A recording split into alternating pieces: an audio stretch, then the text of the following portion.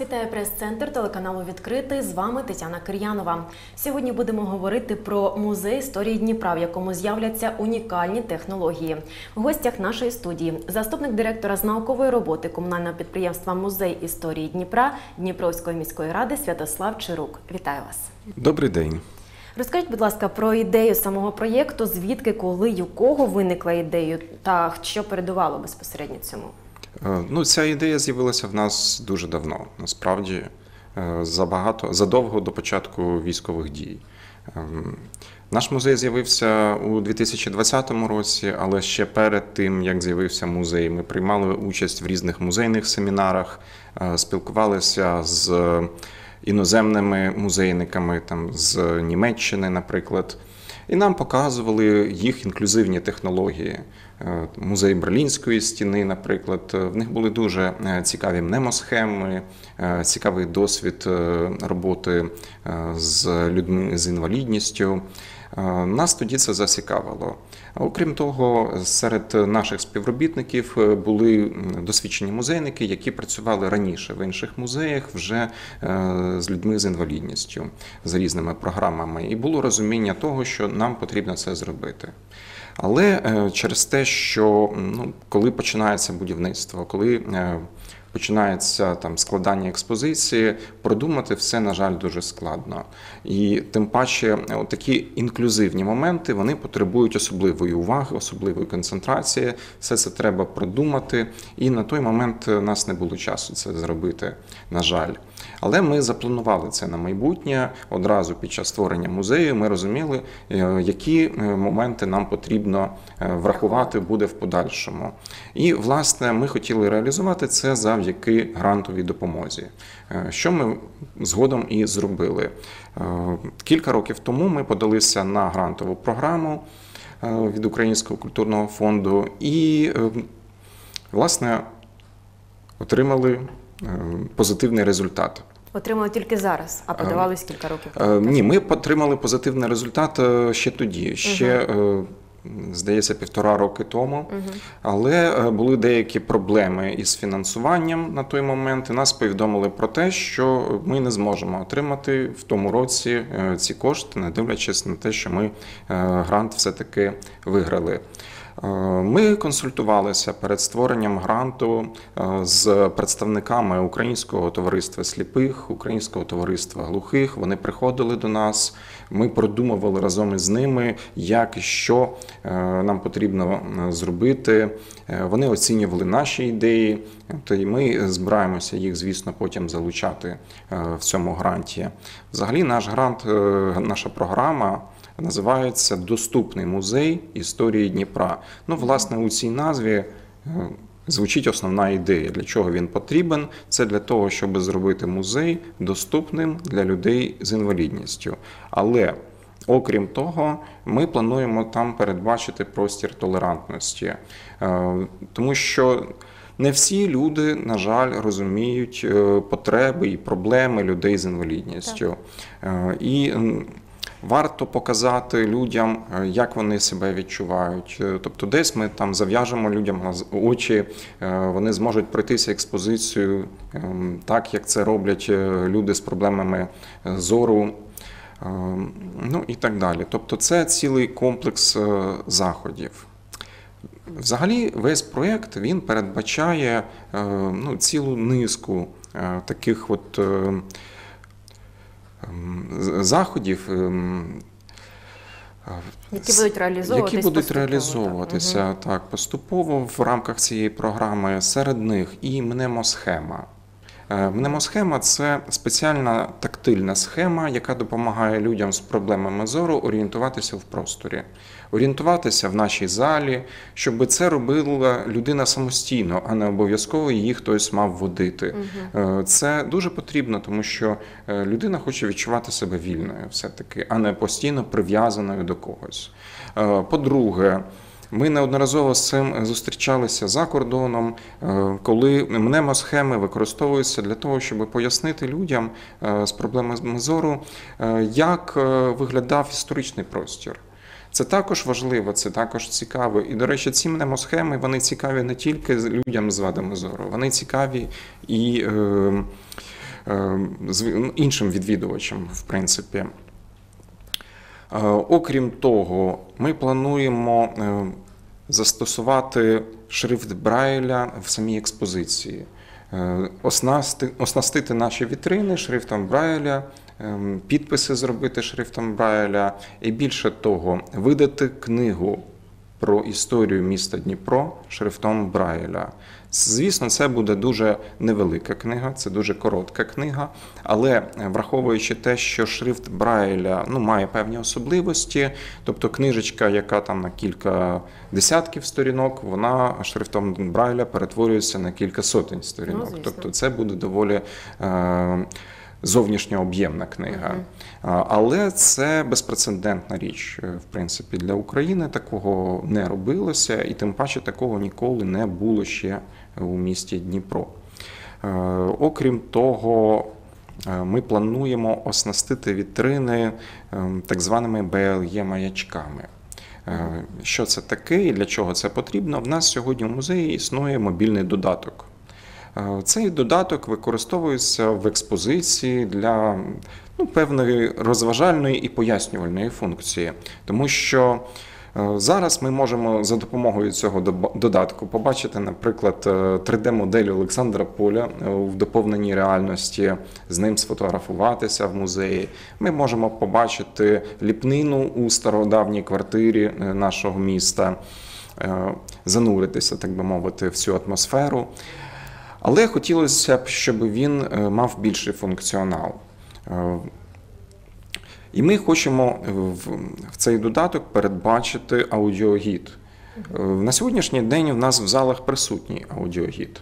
Але це аудіогід за треками. Один трек записаний для всієї зали.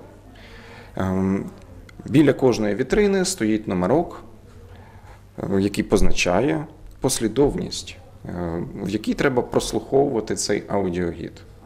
Звісно, коли відвідувачів небагато, це не є проблемою. Ну так. Можна пройтися, але, е, мабуть, ви теж неодноразово з цим зустрічалися, коли ви приходите до музею і там багато відвідувачів. Хтось стоїть біля вітрини, і ви не можете туди підійти одразу. Е, Ви потім підходите до вітрини. Або е, ви хочете подивитися залу.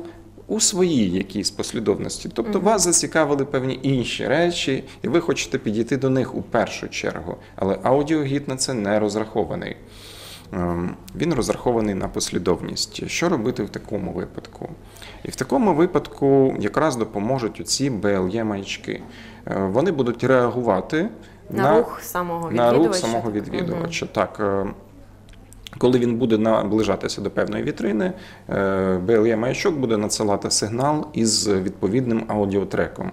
І ви зможете прослухати трек безпосередньо з цієї вітрини. Тобто вітрина за допомогою маячків і цього додатку буде начебто з вами розмовляти. А От е, він буде автоматично вмикатися, але це, звісно, після того, як встановиться мобільний додаточок в музеї. Можна сказати, що це саме унікальне для вашого музею буде. Е, Це унікально не тільки для нашого Мгм. музею, це Мгм. унікально, в принципі, і для України, і я би сказав, навіть для світу. Тому що таких технологій було дуже небагато. Е, Коли ми, готувалися до цього проєкту, ми бачили, що такі технології використовувалися лише в експериментальному плані і лише в кількох музеях світу. Е, В Сіднейському музеї, в одному з музеїв Польщі і у Нью-Йорку. Е, Такі BLE маячки. Е, В нас такого досвіду ще не було. Це постає, е, це ставить перед нами певні проблеми і певні задачі, тому що технологічного плану, тому що ці BLE маячки можуть пересікатися сигналами, тобто там треба якось їх глушити для того, щоб вони працювали на певну ділянку простору. Все це треба буде продумувати, і це цікавий досвід. Ну, це ж відповідні фахівці потрібно знайти. Е, Так, звісно, звісно. М, Хоча ми консультувалися з різними фахівцями, і ми розуміємо, що це в принципі можливо. Це можливо все зробити, е, але потрібно над цим міркувати, як це зробити. Але окрім того, е, цей додаток він буде містити і інші моменти. Тобто звуковий ряд, звісно, дуже потрібен для людей з проблемами е, слухового апарату. Але е, Там буде і текстова частина. Е, Текстова частина якраз для людей з проблемами зору. Окрім того, окрім української мови, буде і англійська мова. Тобто до нас зможуть приїздити люди за кордону і користуватися цим аудіогідом. На сьогоднішній день в нас доступне тільки екскурсійне обслуговування англійською мовою для е, закордонних гостей, а це не завжди зручно, тому що, е, звісно, іноді людина хоче якось усамітнитися і пройтися самостійно музеєм. Е, Звісно, є підписи, є етикетаж, але краще отримати більшу інформацію. І послуга аудіогіду це нормальне явище абсолютно для всіх світових музеїв. І ми хочемо також е, це застосувати в нас. Е, Окрім того, і е, це дуже важливо, ми е, зможемо отримати портативний внутрішній пандус. Е, В нас е, сьогодні не було такої нагальної потреби, і коли ми відкривали другий поверх, такої потреби не було. Е, Перший поверх, вибачте, тому що в нас перша черга музею тільки перший поверх. Ем, Там є невеличка сходинка, але її не важко в принципі подолати і допомогти людям ем, далі курсувати музеєм. У нас немає, наприклад, е, якихось порогів в музеї, і е, по першому поверху можна самостійно е, Пересувати. пересуватися. Так. Але в подальшому планувалося відкрити другий поверх. Там вже сходи на другий поверх, Е, оскільки в нас історична будівля, ми не могли передбачити ліфт. Ми, звісно, хотіли, щоб він був, але нам цього зробити не дозволили з міркувань збереження історичної пам'ятки. Ем, І тоді мав би бути потрібен оцей пандус. Ми планували, що це буде в майбутньому, але ми зіткнулися з цією пр- проблемою вже зараз. Тому що е, через е, військові дії в нас з'явилося укриття, е, до якого під час повітряних тривог необхідно спускатися. Укриття це в підземному приміщенні, в підвалі. Там є сходи, і звісно, що туди потрібно застосовувати вже пандус для того, щоб допомогти людям туди спуститися. Звісно, ми зараз допомагаємо, ми робимо це просто вручну, от, але буде набагато всім зручніше, якщо такий пандус з'явиться. Е, Тим паче, це проблема, на жаль, і на майбутнє, тому що кількість людей з проблемами, е, з проблемами опорно-рухового апарату вона зростає в Україні через військові дії. Так, на жаль. От, е, і інклюзивний простір у музеї стає ще більш актуальним, ніж це було раніше. Пане Святославе, на якій стадії реалізації зараз проєкт? Е, Ну, на, наразі він на початковій тільки стадії реалізації. Ем, Ми почали проєкт е, в кінці травня, і е, зараз триває підготовка контенту. Нам потрібно написати текстові матеріали для книги, для аудіогіду, перекласти їх англійською мовою. Все це тривалий процес. Треба зробити звукозапис студійний. Треба зібрати всі комплектуючі, укласти всі необхідні договори. Ну, це е, тривалий, звісно, процес. Е, Він буде кілька місяців відбуватися.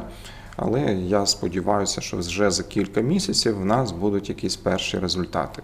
От коли глядачі вже зможуть відвідувачі побачити хоч щось, що вже може бути реалізовано приблизно місяць, який це? Ну, перші результати в нас з'являться, я так думаю, десь у серпні місяці, але е, ми про них е, спочатку будемо розповідати теж на якихось таких зустрічах, е, тому що проєкт все-таки треба запустити повністю.